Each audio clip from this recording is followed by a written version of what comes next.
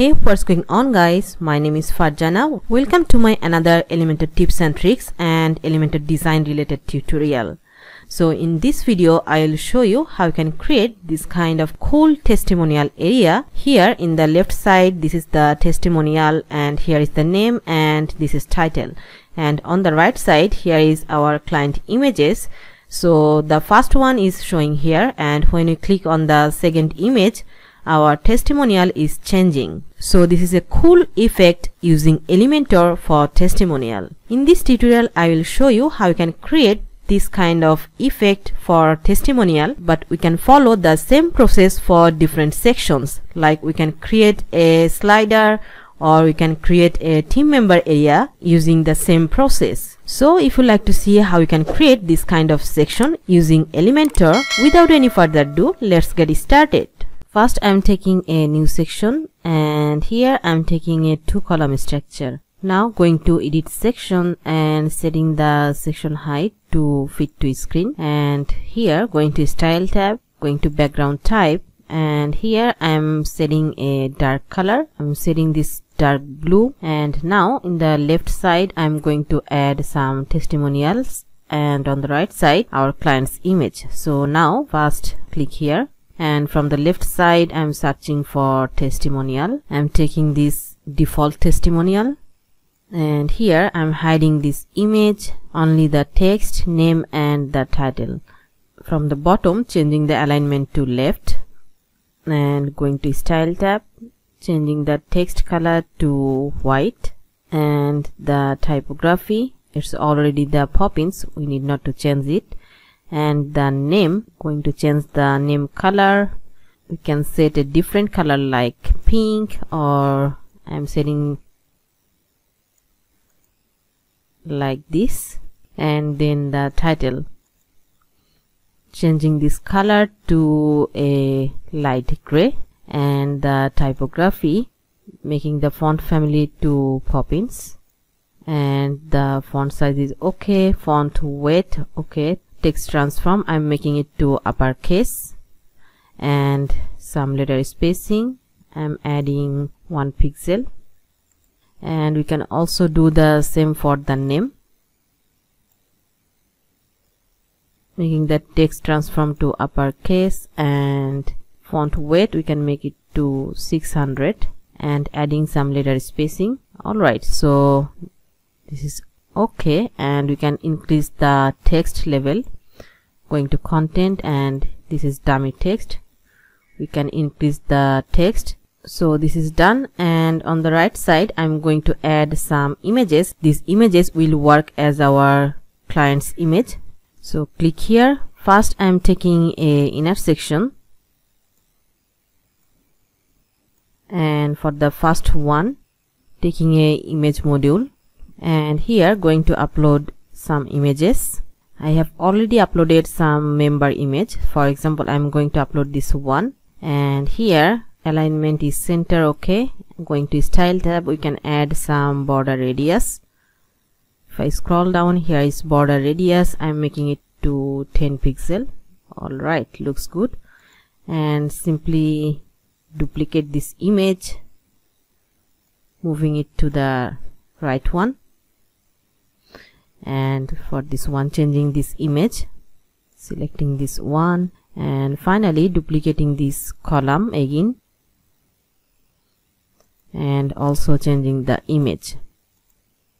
And in the similar way from the left side I am going to duplicate this testimonial.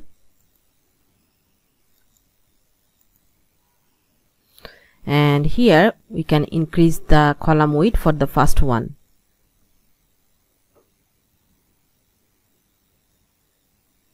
yeah like this. So our design is almost ready and now I'm going to add some class and CSS code. So if I check my website here I have already listed some steps. Now I am going to follow these steps.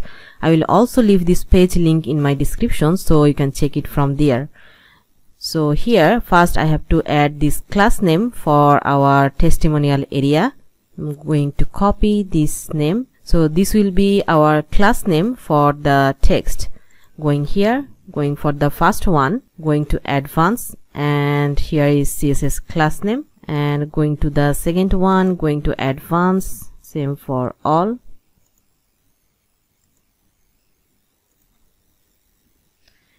And then here is another css id so this will also be for each text i'm going to copy.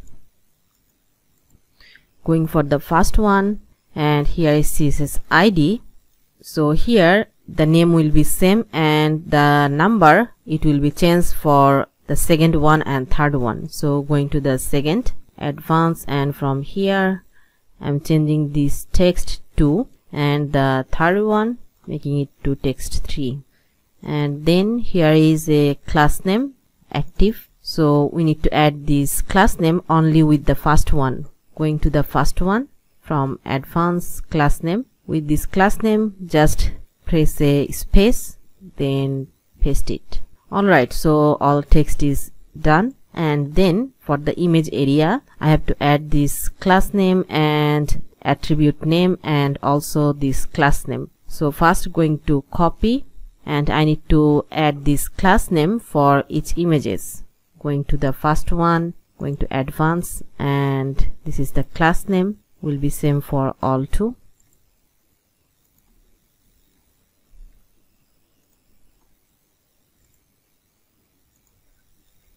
And then here is the attribute name. And also here the similar way we have to set the numbers 1 2 3 and so on.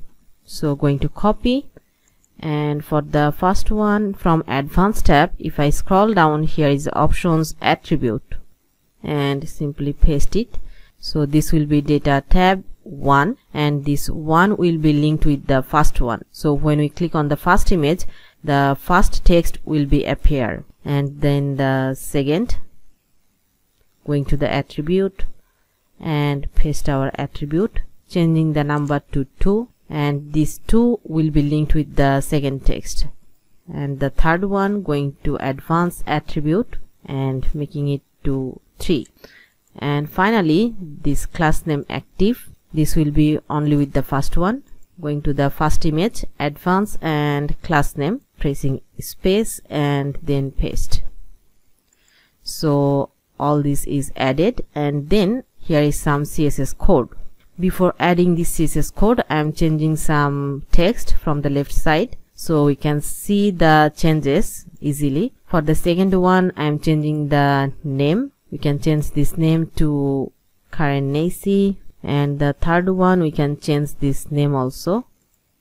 And finally the css code. So i'm going to copy all the css code. And here on the right side go to this inner section and from advanced tab if i scroll down here is the options custom css by the way, these options will be available for Elementor Pro only. So if you still did not get Elementor Pro, I will leave the Elementor Pro download link in my description. So you can check it from there. And after activating the Elementor Pro, we will get these options to our website. Now simply paste our CSS code. And now you can see some small changes to our design. Like on the right side, if I see the image for the first one, this is active and it's showing in a zoom mode and full opacity and the two other images in low opacity. And also in the left side we can see this name and title are working in side by side. So I have added this below CSS code for this style. If you don't want to make like that so you can remove this CSS for now I'm leaving it. And finally if I check my website if I scroll down here I have to add some JS code. So I'm going to copy all this JS code. And now I'm taking a new widgets going here. And here I'm searching for code. So we will find this HTML widgets. I'm taking this one. We can place these widgets to anywhere because this will not be appear to our front end it will only work for our back end view. And now here first I have to add the script tag and closing the script. And inside this script tag I have to put this JS code. And now if I save this page and go to the preview changes you can see here is showing by default the first one and when I click on the second one our text is changing. This is so cool. And finally I'm going to add some more images and some more text. So going again here and in the similar way I'm going to add some more image. This time I'm going to duplicate this inner section going to duplicate and changing the image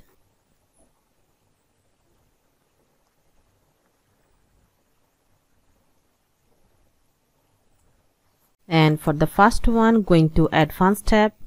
And from attribute I'm making the data tab to 4 and from advanced class name removing this active.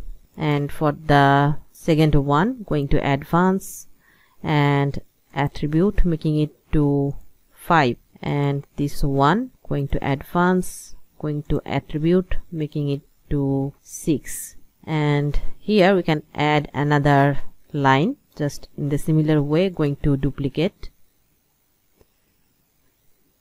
This time I'm removing the last one. And changing this to image.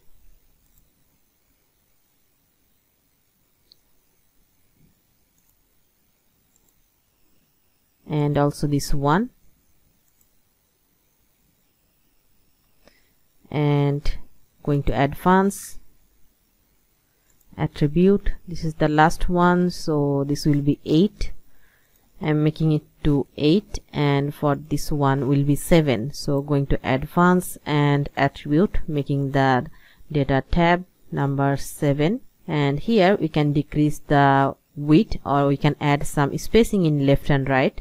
So here I'm going to add a new column on the left side and duplicate it now moving it to the left and another one moving it to the right side.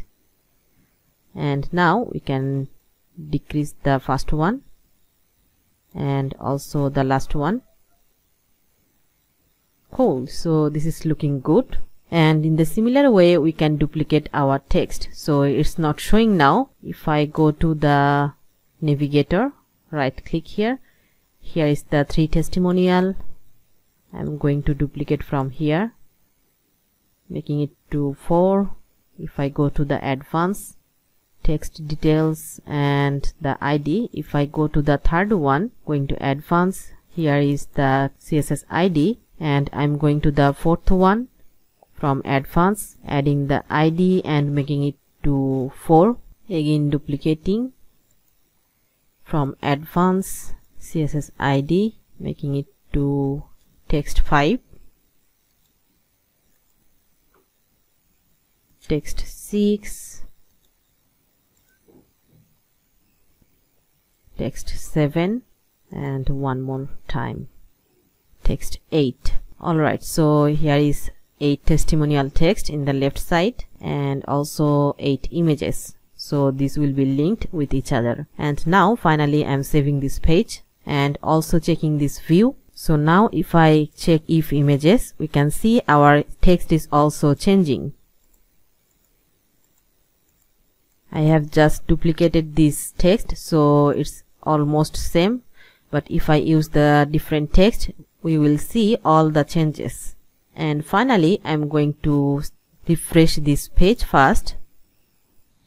And now checking the responsive view. So for that bottom left corner here is responsive mode. And if I go to the tablet so tablet area looks good. And also for phone so phone area is not working well so I have to work for the phone view. So text area is okay but the images we need to fix this image size for phone. So going here for the first column for inner section we can change the column width to 33 and similar way for the second one. Third one.